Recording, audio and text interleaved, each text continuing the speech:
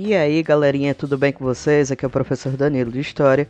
Hoje nós vamos dar continuidade ao conteúdo lá do, do livro Poliedro, do Octamais, mais especificamente da Frente 1, tá certo? Hoje nós vamos falar sobre os principais processos que permitiram o, a expansão do território colonial lá entre os séculos 16, 17 e 18. Pessoal, lá no finalzinho do século XVI, os colonizadores basicamente se concentraram em cidades fundadas lá na região litorânea do Brasil, principalmente ali na região do Nordeste.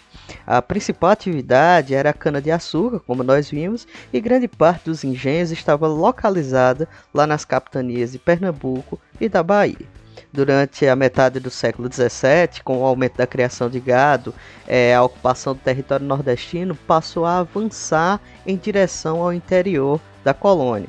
Neste período, começaram a surgir os currais, que eram grandes fazendas voltadas para a pecuária. Nesse contexto é que começa de fato o processo de ocupação lá das regiões do Rio São Francisco e parte do sertão nordestino. Mas é importante destacar também, galera, que outras regiões do, da colônia foram colonizadas aos poucos. Por exemplo, a região amazônica foi colonizada de fato com a presença de estrangeiros lá durante o século XVII, fazendo com que a coroa portuguesa organizasse e enviasse para a região várias expedições militares para expulsar os invasores. Vilas que mais tarde dariam origem às cidades foram fundadas na região amazônica por integrantes dessas expedições. O monopólio português nas Índias, que era basicamente o nome atribuído ao Brasil naquela época, porém acabou se desenvolvendo mais em virtude da ampla concorrência oferecida por outros países, e essa perda de monopólio comercial privou os portugueses de produtos como as especiarias. Tal privação impulsionou também os portugueses a explorar a região do Brasil colônia até então intocadas, como era o caso da Amazonas. E nisso acabaram encontrando várias outras novas especiarias que mais tarde seriam chamadas de drogas do sertão.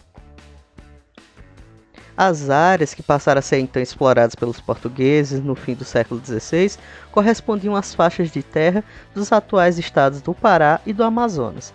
Basicamente, as drogas do sertão eram extraídas da floresta amazônica. Apesar da palavra sertão, cujo uso recorrente no século XVI eh, é, se referia a regiões internas, ocultas, que ainda não tinham sido exploradas, é, na prática essas regiões não definiam de fato, é, com precisão, o que seria a floresta amazônica. Sendo assim, é, a região onde essas drogas foram lá extraídas. Já quando eu falo a palavra drogas, é, eu quero que vocês diferenciem um pouco do conceito que nós utilizamos na contemporaneidade. Na prática, o conceito de drogas naquela época era utilizado para se referir a produtos naturais para uso culinário, medicinal, manufatureiro ou artesanal. Essas drogas estavam é, entre elas tipos de urucum, o guaraná, castanha do Pará, o fumo, a mandioca e o algodão. Também eram requisitados itens derivados desses produtos, como a rapadura e o aguardente. É engraçado pensar que a exploração do interior da floresta amazônica, apesar de ter começado é, há muito tempo, ainda hoje é um processo complexo. No século XVI, então, era algo completamente difícil. Havia, além do perigo oferecido pelos animais selvagens, o conflito iminente com várias tribos indígenas que ocupavam a região e que eram desconhecidas. Nesse contexto, o trabalho dos próprios indígenas era o mais apropriado para esse tipo de extração de produtos. Entretanto, galera, havia um problema em relação ao emprego da mão de obra indígena. De um lado, tínhamos os padres jesuítas que empreendiam a catequização dos índios e valia-se do trabalho indígena é, naquela época. De outra parte, havia os coloni é, colonizadores do sertão que também estavam interessados nas especiarias e se valiam da mão de obra indígena, mas de fato não trabalho livre, mas um trabalho escravo. Esse aspecto gerava um embate muito grande entre os colonizadores e os jesuítas, levando em consideração que os primeiros é, acabavam sendo a favor da escravidão, enquanto que os jesuítas não. Já nos séculos 17 e 18, a expansão territorial na região centro-sul da colônia foi impulsionada pelas chamadas bandeiras.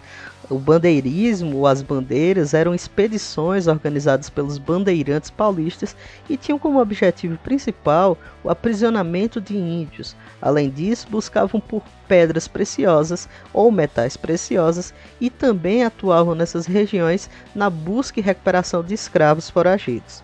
Os bandeirantes entraram para o interior das regiões sudeste, sul e central do país, do perdão da colônia, indo além do estabelecido pelo Tratado de Tordesilhas, explorando e conquistando novos territórios.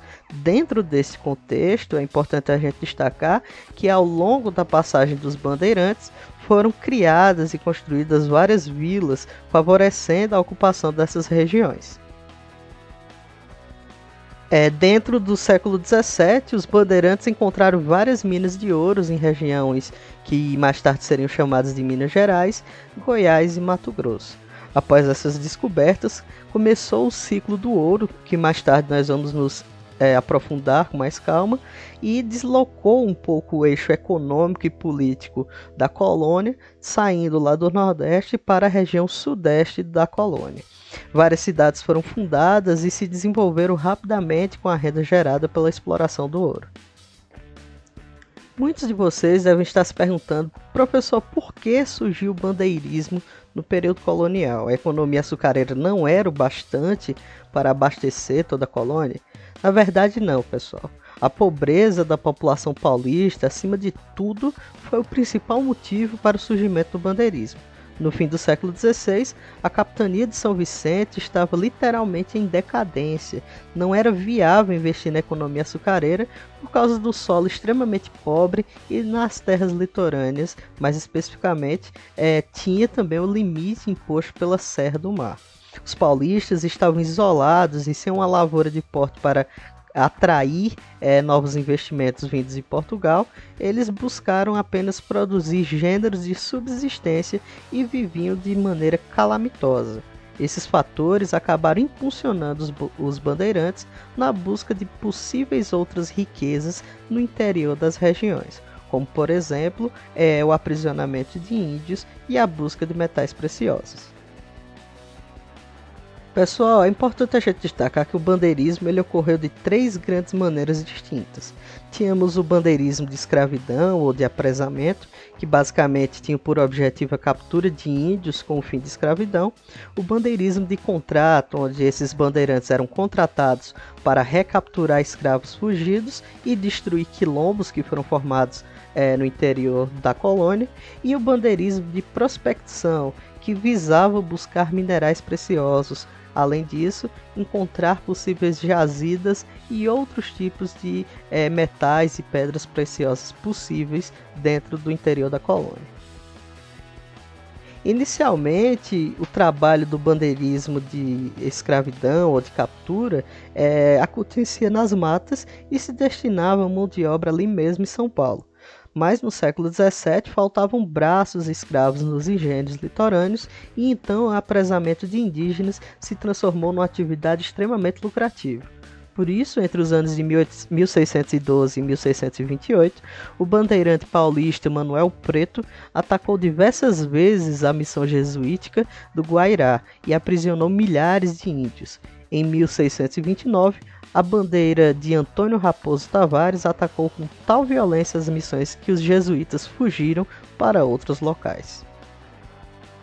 Fixados agora na região de Tapes, lá no Rio Grande do Sul, e Itatim, no Mato Grosso, é, esses jesuítas perceberam que o seu esforço basicamente era inútil essas missões bandeirantes foram destruídas, perdão, essas missões acabaram sendo destruídas pelos bandeirantes entre 1637 e 1648 pelo mesmo indivíduo, Raposo Tavares, que entrou para a história com um destaque no bandeirismo de escravidão. Deve-se ressaltar também que o bandeirismo de escravidão ou de captura coincide com a invasão holandesa das feitorias da África e a crise de falta de trabalho negro africano no Brasil. Em 1640, o tráfico de negros foi normalizado e o bandeirismo de escravidão acaba entrando em derrocada.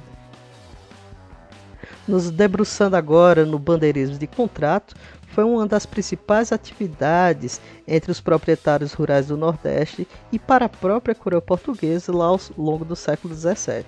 Eles combatiam os índios hostis e ao mesmo tempo destruíam os quilombos, que eram local de moradia de escravos foragidos que resistiam à presença dos colonizadores. Eles assinavam um contrato onde constava a remuneração e a bandeira passava a possuir um caráter militar oficial. Podemos mencionar que nessa época as guerras justas, ou seja, as guerras contra os índios do norte do Brasil e a guerra dos bárbaros, ficou bem mais clara e definida dentro do período colonial. Essa última destruiu a Confederação dos Cariris no Ceará e Rio Grande do Norte. A mais famosa atuação do bandeirismo de contrato, no entanto, foi a destruição do Quilombo de Palmares em 1695 pelo bandeirante Domingos Jorge Velho. E o bandeirismo de prospecção ele foi muito comum lá na década de 1690, com a descoberta de ouro no sertão de Cuité, nas Serras Gerais, hoje reconhecido como a região do estado de Minas Gerais. A interiorização do povo deu origem às capitanias de Minas Gerais, Mato Grosso e Goiás. Os principais bandeirantes de prospecção foram Fernão Dias Paz, Antônio Rodrigues Arzão, Páscoa Moreira Cabral e Bartolomeu Bueno da Silva.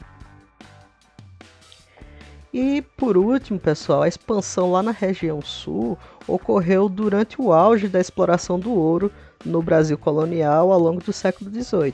Na prática, fez com que a criação de gado aumentasse para que as regiões de exploração do ouro fossem abastecidas de carne de charque. Esse processo fez com que diversas vilas e cidades se desenvolvessem na região interior do sul da colônia. A fronteira do Brasil foi fixada através de uma fronteira natural, que era o próprio Rio da Prata, lá em 1680, através da implantação de um agrupamento militar chamado Colônia de Sacramento, em frente de Buenos Aires. Essa colônia permite o acesso por toda a terra da região do Pampa e através do rio para o atual centro-oeste do Brasil, Paraguai e Bolívia. Todos esses processos expansionistas, pessoal, fez com que a configuração colonial definida lá pelo Tratado de Tordesilhas em 1494 fosse por água abaixo. Na prática, a ampliação dos nossos territórios está ligado diretamente a vários acontecimentos de ordem política, econômica e social que com o passar do tempo não poderiam mais ser suportadas pelo tratado assinado entre Portugal e Espanha. Um primeiro evento que permitiu a expansão foi a própria União Ibérica que já trabalhamos aqui, que entre 1580 e 1640 colocou as possessões lusas e hispânicas sob o controle de um mesmo governo político. Nesse momento, a necessidade de se respeitar fronteiras acabou sendo praticamente invalidada. Contudo, não podemos é, inferir a partir disso que o surgimento de novos focos de colonização se deu somente por esse novo contexto. O que é certo, pessoal, é que as fronteiras definidas pelo Tratado de Tordesilhas a todo momento eram extrapoladas, por exemplo, os bandeirantes saíram da região paulista em busca de índios, drogas do sertão e pedras preciosas para atender suas demandas econômicas, o que acabou alargando essas fronteiras. Ao mesmo tempo, cumprido seu ideal religioso, vários padres integrantes lá da ordem jesuítica vagaram pelo território formando reduções onde disseminavam o cristianismo entre as populações indígenas. Por outro lado, a criação de gado, como já foi falado, também foi de fundamental importância na conquista desses novos territórios. O interesse dos senhores de engenho e da metrópole em não ocupar as terras litorâneas com a pecuária possibilitou que outras regiões do interior fossem alvo dessa crescente atividade econômica. Paralelamente, o próprio desenvolvimento da economia mineradora também foi fundamental para definir novas regiões de domínio português. Diante dessas alterações políticas e geográficas, foram necessários novos tratados entre a Espanha e Portugal para redefinir as novas fronteiras coloniais.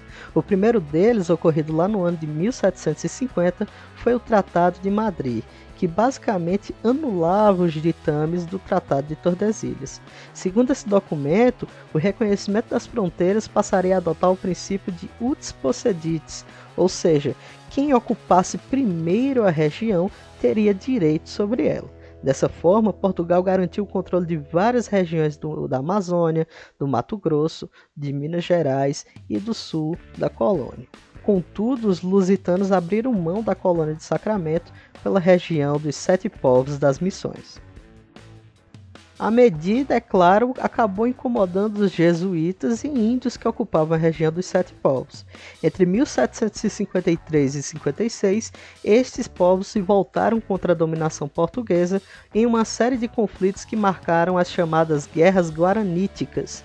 Com isso, o Tratado de Madrid foi anulado em 1761 e em 1777 foi imposto um novo tratado chamado de Tratado de Santo Ildefonso que estabelecia que a Espanha ficasse com as colônias de Sacramento e também Sete Povos. Em contrapartida, Portugal conquistou a ilha de Santa Catarina e boa parte do Rio Grande do Sul. Somente no ano de 1801, com a assinatura do Tratado de Badajoz, ou Badajoz, deu fim aos conflitos e disputas envolvendo as nações de Portugal e Espanha. De acordo com o texto desse tratado, o novo acordo estabelecia que a Espanha abriria mão do controle sobre os sete povos das missões. Além disso, a região do Sacramento seria definitivamente desocupada pelos portugueses, basicamente dando início a um projeto proposto lá pelo Tratado de Madrid. Então é isso, pessoal. Espero que vocês tenham gostado da videoaula de hoje. Não deixem de curtir e comentar aí no vídeo qualquer dúvida que tenha surgido ao longo da aula, tá certo? E para casa, eu quero que vocês façam as atividades lá nas páginas 447 a 449. Lembrando que todos esses exercícios serão tomados vistos e corrigidos assim que voltarmos para a sala de aula, beleza? Desejo a todos uma ótima semana e até mais.